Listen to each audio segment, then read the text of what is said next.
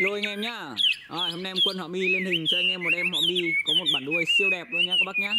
Đấy, em này cao cầu Bóng bộ ngoại hình là không chê vào đâu được các bác nhá. Đấy, Cao cầu bản đuôi siêu đẹp luôn. Em này thì vừa mới trong học ra các bác nhá.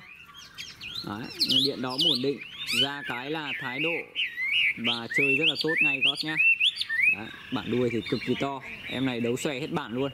Đấy, có clip đấu cho anh em luôn nhá. Anh em nào quan tâm muốn xem thì có thể nhắn tin hoặc alo cho em qua số điện thoại 0978 767 689 nhé các bác nhá. Đấy, em này bóng bộ to bản đuôi to cao cầu.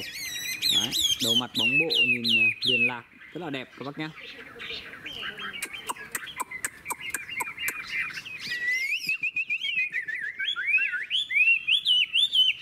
Em này thì ở trong học uh, suốt từ sáng sớm ngày hôm nay rồi Đến bây giờ là khoảng à, uh, 3-4 giờ chiều. Đấy, nó mới được ra khỏi hộc các bạn. Mà ra khỏi hộc cái là chơi ngay.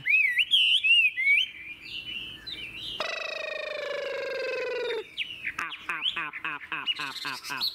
Nhá tạm clip cho anh em vậy thôi. Anh em nào kết thì uh, có thể alo luôn cho em.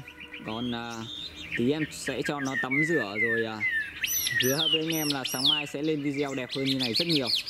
Bởi vì em chim nó vừa về vừa ra khỏi hộc mà mình uh, treo lên nó chơi luôn như này là có ok rồi các bạn Đấy, đến ngày mai sẽ đẹp hơn rất nhiều các bác nhá. con chim nó thì em sẽ cho tắm tát đi lông lá nó đẹp hơn mượt mà hơn và con chim nó sẽ khỏe mạnh hơn Đấy. thì nó sẽ chơi tốt hơn rất nhiều các bác nhá.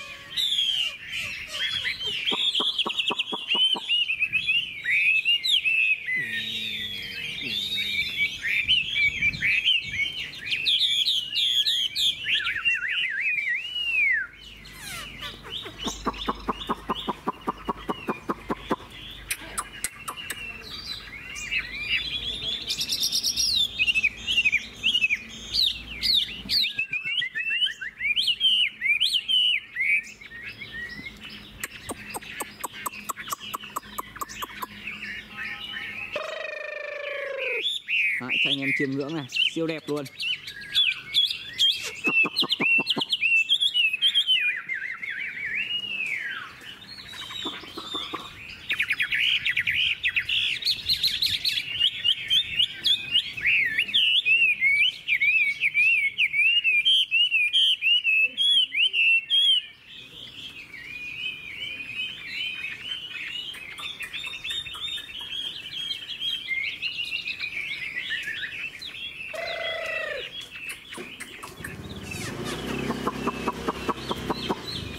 đi ờ, đường trong hộc đói quá các bạn.